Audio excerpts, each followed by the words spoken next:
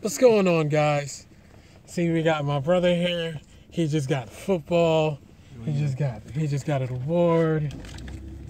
Gonna, gonna show him show him a little something. He, he already got an award. Let me go zoom in there. Chessmont champs, baby. Chessmont champion. Chessmont champs.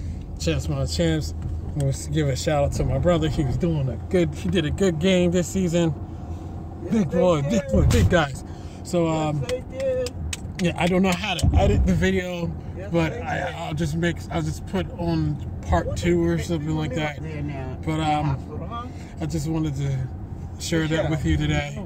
I, I I'm sorry about the lighting. The lighting is really dark, but um, uh, um yeah, but um, like again, if you're new to this, send, uh, if you have any ideas or any questions you need to ask or anything, leave a comment down below. And Also, if you, want, if you want to know about a little bit of cultural football, ask me.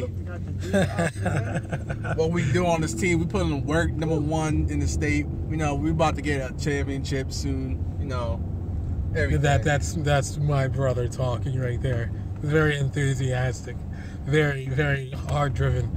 But um, if you're stopping in for the first time, hit that like button, subscribe, and have a nice day. Ain't got no heat.